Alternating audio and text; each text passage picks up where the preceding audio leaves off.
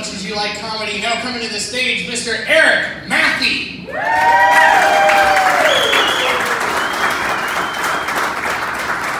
Good. How we doing? Uh, again, my name's Eric Mathe. Uh, a little bit about me. I'm extremely competitive. I hate to lose. My kids still haven't found the Easter eggs. And they won't. I promise you they won't. Because the Easter Bunny, he sent his teenage pothead son to my house this year. He knows all the best hiding places. But my wife asked me, why are you so proud of the fact that you maliciously, yet successfully, have hidden the Easter eggs from your two-year-old and your four-year-old for this long? I said, well, it's not really about the kids. Your basket's looking empty too, and you're pushing 40. So, pro tip for any newlyweds out there, there's not a scenario in which telling your wife she's pushing 40 is going to go over well.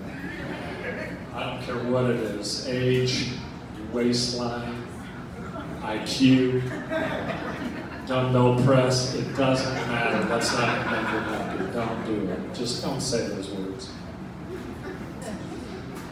What else about me? I'm a mouth breather. Probably already tell that but not in a derogatory way. I feel like I'm a relatively smart guy. I just literally breathe through my mouth 95% of my day. My nose is probably one of the most underutilized features of my face. Second to my ears, of course, because, well, I can't hear the future.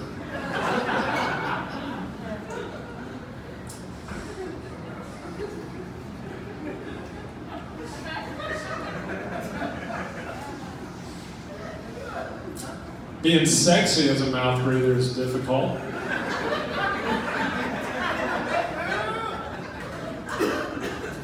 Tried to spice things up in the bedroom one time. Complete disaster. We live in the golden age of technology. You would think by now we would have a more breathable ball gag.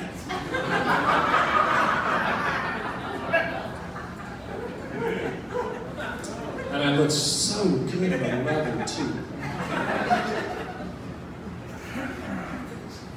But being a mouth breather has programmed me to be a risk taker. I stare danger in the face every single day.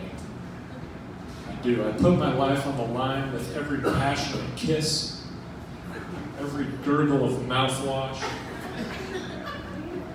and especially every long drink from one of those silly twisty straws. Heck, I've seen my life flash before my eyes eating a peanut butter sandwich too fast. but finally, as a mouth breather, I just have to accept that cocaine is not going to be my drug of choice. And it's a real bummer, too, because the only lines the glass coffee table at my house sees are the ones my kids draw on it. Thank you, everybody.